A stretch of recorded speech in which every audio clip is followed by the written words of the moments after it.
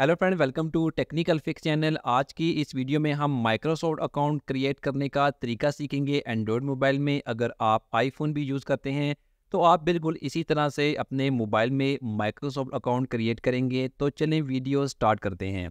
आपने सबसे पहले कोई भी एक वेब ब्राउज़र ओपन करना है, जैसे कि मैं क्रोम ब्राउज़र ओपन करता हूँ, और वहाँ पर आपने माइक्रोसॉफ्ट सर्च करना है या माइक्रोसॉफ्ट अकाउंट सर्च करना है तो इसके बाद माइक्रोसॉफ्ट की ऑफिशियल वेबसाइट है, आपने वो अपने मोबाइल में ओपन कर लेनी है। ओपन करने के बाद यहाँ पर आपके सामने साइन इन का बटन आएगा। आपने यहाँ पर साइन इन बटन पर प्रेस करना है। जैसे ही आप यहाँ पर साइन इन बटन पर क्लिक करेंगे तो आपके सामने एक नया पेज ओपन हो जाएगा। यहाँ पर आप सबसे पहले यहाँ पर क्रिएट वन बटन पर क्लिक करेंगे। क्रिएट वन पर क्लिक करने के बाद यहाँ पर अगर आप ईमेल के ज़रिए करना चाहते हैं तो आप नीचे वाले option get a new email address पर प्रेस करेंगे।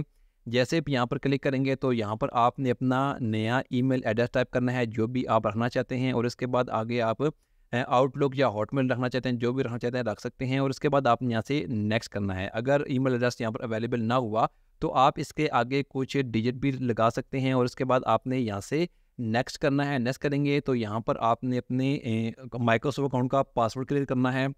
पासवर्ड क्लियर करने के बाद आपने दोबारा यहाँ से नेक्स्ट करना है। नेक्स्ट करने के बाद यहाँ पर आपके सामने हो सकता है कि कैप्चा आए, कैप्चा आपने यहाँ से फिल करना है। बहुत ही ईजी से कैप्चा होगा। तो आपने जो भी कैप्चा होगा उसको फिल करना है। जो भी डायरेक्शन वगैरह या जिस, किसी भी तरह का कैप्चा कैप्चा आ सकता है।